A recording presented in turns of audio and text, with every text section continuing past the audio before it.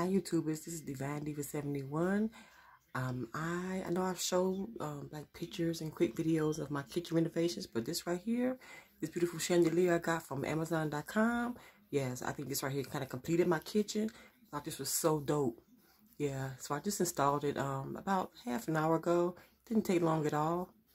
Thought this was so pretty, but I'm very happy with the uh, the way this turned out and also how my kitchen turned out yeah, you can see I have my appliances and everything right here. So, you know, I like to uh, bake a lot. And that's why I keep my, uh, my KitchenAid mixer up here in the kitchen. So, I like to bake a lot. And I can make my smoothies and things of that nature, you know. So, and I also ordered a whole bunch of new stuff in my kitchen, which I'm waiting for to come in the mail. Uh, a lot of stuff I got from Macy's.com that I'm waiting for. And other things from Amazon.com that I'm waiting for to complete my uh my kitchen. And this right here i thought this was so pretty. This is from bath and body works. I thought this was oh my goodness i have two of these. So um these were 50 dollars from bath and body works. They usually have it like a limited sale so you may catch these again this year but if you catch it make sure you do just that. You catch it because they don't sell all year. They only sell them like sell like very few of these. So I caught one in 2020, and I caught one in this one right here in 2021. I would like to be going ahead and get this one. Yeah, and this candle right here, I like Tuscany candles.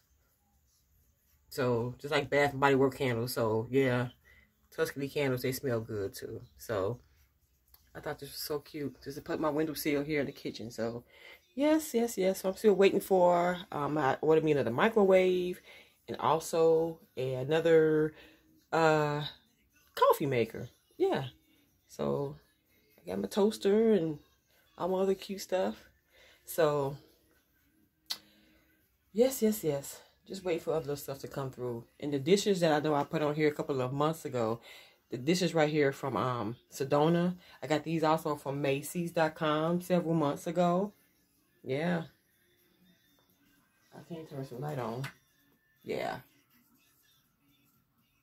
Yep and my air fryer over there that my friend brought me for Christmas a couple years ago.